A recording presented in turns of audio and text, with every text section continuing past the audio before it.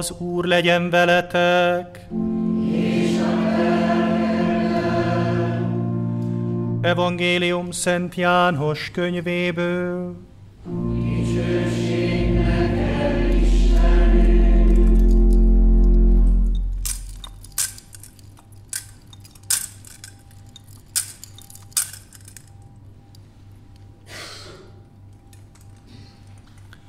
Volt a farizeusok között egy Nikodémos nevű férfi, aki a zsidók egyik főembere volt. Ének idején fölkereste Jézust, és ezt mondta neki, Mester, tudjuk, hogy te Istentől jött tanító vagy. Senki sem tud ugyanis ilyen csoda jeleket tenni, amilyeneket te művelsz, az Isten nincs vele. Jézus így felelt neki, bizony, bizony mondom neked, ha valaki újra nem születik, nem láthatja meg az Isten országát. Erre Nikodémus megkérdezte, hogyan születhetik valaki újra, amikor már öreg.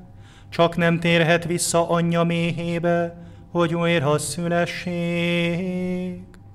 Jézus így felelt, Bizony, bizony mondom neked, aki újjá nem születik vízből és szent lélekből, nem mehet be az Isten országába.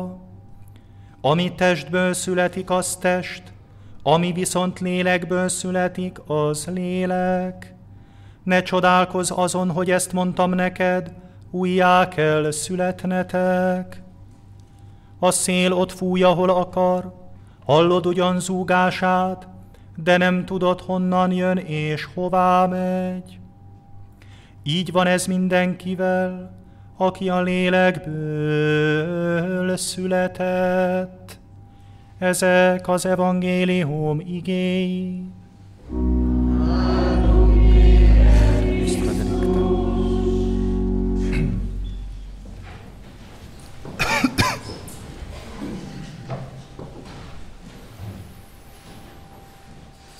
Krisztusban, kedves testvéreim, a husvét utáni időszakban, egészen pünkösdig, az egész husvéti időben az egyház előszeretettel olvassa az apostolok cselekedetei című új szövetségi könyvet, amely a kezdeti egyház, az ős egyház első tapasztalatait, első tevékenységét rögzíti, hogy az apostolok pünkösd után, Jézus mennybe menetele, a Szentlélek kiáradása után hogyan lépnek oda az emberekhez, hogyan lépnek ki a világba, és hogyan hirdetik az Isten üdvösség szerző művét, hogyan tesznek tanúságot Jézus Krisztusról.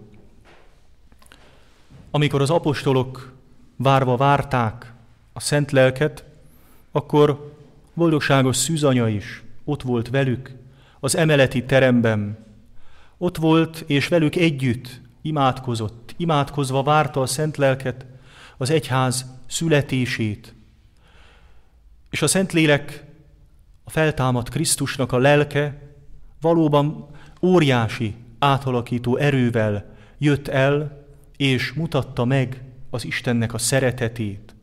És onnantól kezdve, ahogy az apostolok cselekedetei fogalmaz, hogy bátor bizalommal hirdették az Isten igéjét. Minnyáján elteltek Szentlélekkel, és bátor bizalommal mertek odalépni az emberekhez. A Szentlélek volt az, aki ezt a bátor bizalmat az ő szívükbe adta. Ugyanerről beszél Jézus Nikodémusnak, hiszen már előre megmondja, hogy az újjászületés az a Szentlélekben fog bekövetkezni. A Szentlélek műve hogy mi képesek vagyunk letenni a régi énünket, képesek vagyunk a bűneinket elhagyni, megbánni, és Jézus Krisztus nyomába szegődni. Aki újra nem születik, vízből és szentlélekből nem láthatja meg az Isten országát. Ezt az újjászületést mi megkaptuk, mi elnyertük a keresztség szentségében, hiszen maga az Úr Jézus az, aki ebben a szentségben részesített bennünket, és ezáltal a mennyei atya gyermekei lettünk, ezáltal a mennyország örökösei lettünk, és ezáltal lettünk annak a közösségnek is a tagjai, amit egyháznak nevezünk, és amely közösség arra hivatott, hogy az apostolok nyomán bátor bizalommal járja az élet útját, így tekintsen a jövőbe, és így szólítsa meg az embereket. Így szólítsuk meg a körülöttünk levőket. Így szólítsuk meg mindazokat, akikkel találkozunk. Bátran, ugyanakkor az Úristenbe vetett bizalommal, nem elbizakodottan, hanem az Úristen iránti hálával, az Úristen iránti szeretettel.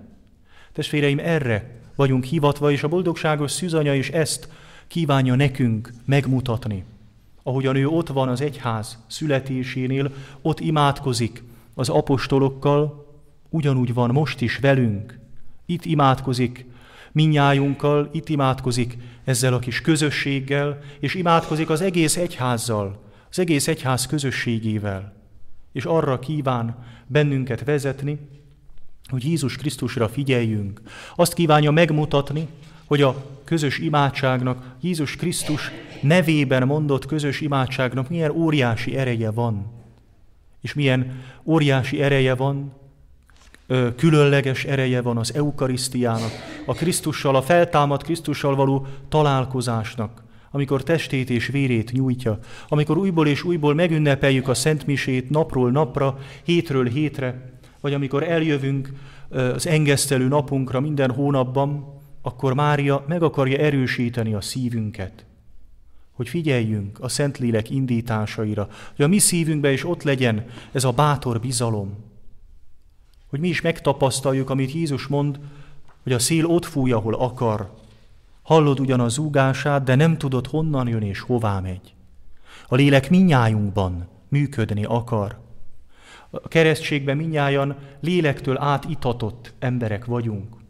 Persze, hogy ez nem nyilvánul meg mindig a mindennapokban, hiszen amikor az Isten akarata ellen cselekszünk, amikor a saját fejünk után megyünk, akkor nem engedjük működni életünkben a szent lelket. Jézus Krisztusnak, a feltámadottnak a lelkét. Amikor megtisztítjuk a szívünket az őszinte bűnbánatban, szentgyónásban, amikor az imádságban, a mély, őszinte imádságban oda tesszük magunkat, amikor közösen minden félreértést, minden békétlenséget félretéve, megbocsátva, közösen szeretettel ünnepeljük az eukarisztiát, akkor a lélek valóban ott fúj, ahol akar. Akkor megtapasztaljuk az ő működését. Talán nem úgy, ahogyan azt mi szeretnénk, hanem láthatatlan módon. Életünk olyan területére is a lélek be akar hatolni, amit talán szeretnénk magunknak föntartani. Szeretnénk a magunk dolgait tenni, a magunk feje után menni. Mi a lélek indításait kell, hogy kövessük, amely sokszor meglepő, amely sokszor különbözik attól, amit mi elképzelünk. Az Úristen lelke kimozdít bennünket a bezárkózásból, ahogyan az apostolokat is kimozdította, a zárt ajtók mögül és kiléptek pünkösd vasárnapján az emberek elé, bennünket is kimozdít a megszokott világunkból, hiszen a hívő ember, a keresztény ember és maga az egyház nem lehet bezárkózó. Ki akarjuk nyitni a kapukat, ki akarjuk nyitni a szívünknek az ajtaját.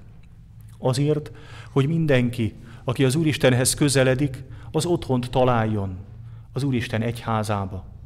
Otthon találjon ebben a templomban, otthon találjon minden egyes templomban, amely azért építetett, hogy az élő templomot, az egyházat tegye jelen valóvá.